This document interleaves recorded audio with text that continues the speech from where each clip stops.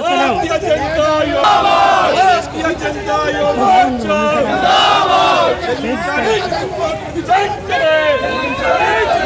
వెంటనే రెండు లక్షల ఉద్యోగాలు వెంటనే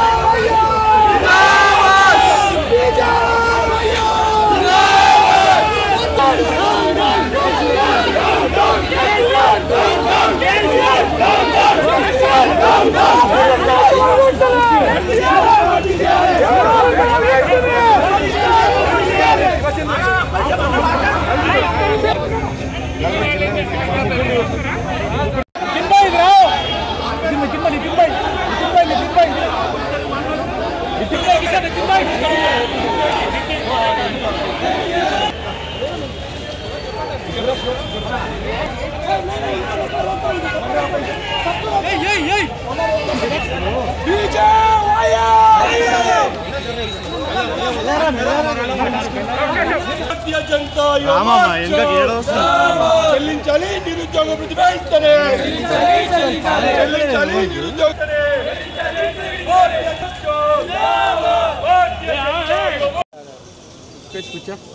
आज भारतीय जनता पार्टी, भारतीय जनता युवा मोर्चा, तेलंगाना के अध्यक्ष भानु प्रकाश जी के नेतृत्व में गोलकुंडा जिला युवा मोर्चा के अध्यक्ष के रूप में मैं नितिन नंदकर आज हैदराबाद कलेक्टर ऑफ़िस के पास हम एक प्रदर्शन करने जा रहे हैं, जिसमें जिस तरह से तेलंगाना में, तेलंगाना के मुख्यमंत्री केसीआर इतने दिनों से भारतीय जनता पार्टी और तेलंगाना में रहने वाले तमाम आम लोग नौकरियों के लिए हों दो रोज़गार के लिए हों दो या अपनी ज़िंदगी के लिए हों दो लेकिन तेलंगाना के मुख्यमंत्री अब तक बाहर आकर नौकरियों के विषय में हों दो युवाओं के विषय में हों दो अब तक बात नहीं करे।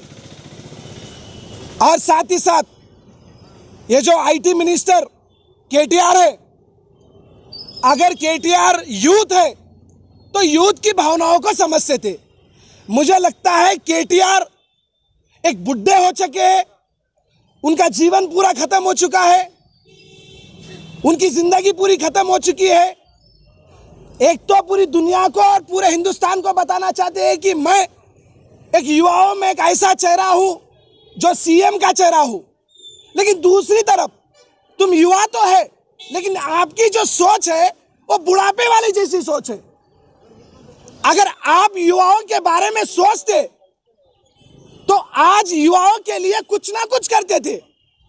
लेकिन तेलंगाना के मुख्यमंत्री भी, फार्म हाउस में जाना बड़ी बड़ी टोपी लगा के फिरना जहाँ पर जाए वहाँ पर इनोग्रेशन को जाना डबल बेडरूम के इलेक्शन पे जाना, ना तो शोरूम के ओपनिंग पे जाना। जिधर जाना है जाओ, लेकिन युवाओं के लिए क्या कर रहे? तेलंगाना की जनता के लिए क्या कर रहे? हैदराबाद में रहने वाले उन तमाम हिंदू, मुसलमान, सिख, ईसाई, उन तमाम जनता के लिए क्या करना चाह रहे? मैं हैदराबाद के, तेलंगाना के मुख्यमंत्री से पूछना चाहता हूँ। अगर तेलंगाना के मुख्यमंत्री और आईटी मिनिस्टर केटीआर जल्द से जल्द युवाओं को जॉब और नौकरी नहीं दिए तो आने वाले दिनों में इतना बड़ा आंदोलन भारतीय जनता युवा मोर्चा में होगा कि मुख्यमंत्री इस आंदोलन को चाहे तो भी रोक नहीं सकेंगे। हज़ारों की तादाद में बाहर आकर लोग मुख्यमंत्री के घर पर हो सेक्रेटरिएट हो असेंबली हो रोड पे अगर वो कहीं पर भी जाएँगे, उनका जीना हराम कर देंगे हम लोग। रोड पे उतर जाएँगे। तुम्हारी कानवाई को पूरे रोकेंगे। अगर ज़रूरत पड़ी तो तुम्हारे घर में भी घुसेंगे और जवाब पूछेंगे। मैं सबसे निवेदन करता हूँ, युवाओं से तेलंगाना में जितने भी लोग हैं, आपकी आवाज़ भारतीय जनता पार्टी उठा रही है। भारतीय जनता युवा मोर्चा उठा रही है। आने वाले दिनों में हम लोग मरते दम तक आपके साथ रहेंगे। आज बारिश हो रही है। तूफ़ान भी आने दो, सुनामी आने दो, लेकिन भारतीय जनता पार्टी, भारतीय जनता युवा मोर्चा गोलकुंडा जिला के एक एक कार्यकर्ता हम सब जनता के लिए लड़ने के लिए तैयार है। तेलंगाना। आज हमारा मकसद ये है कि आज Bharatiya Janata party state office से लेकर कलेक्ट्रेट ऑफ़िस के पास हम जाकर एक मेमोरेंडम देने जा रहे हैं कि युवाओं को नौकरी, रोज़गार जो मुद्दे हैं, उन मुद्दों के लिए कलेक्टर ऑफ़िस को जाके एक मेमोरेंडम देने। मैं आशा करता हूँ कि कलेक्टर साहब इस बात को मुख्यमंत्री तक पहुँचाएँगे। जय हिंद।